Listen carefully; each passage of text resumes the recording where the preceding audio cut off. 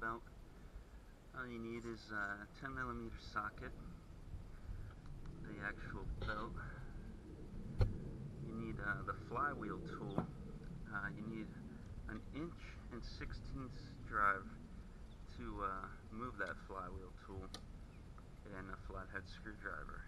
That's about it. I've got an impact gun just to make it a little faster, but it's not necessary. That's completely optional.